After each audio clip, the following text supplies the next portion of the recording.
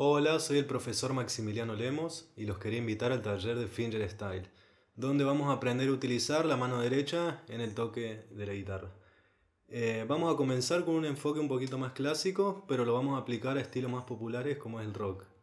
El taller está orientado para guitarristas que toquen con púa o que quieran profundizar un poco su estudio en la mano derecha.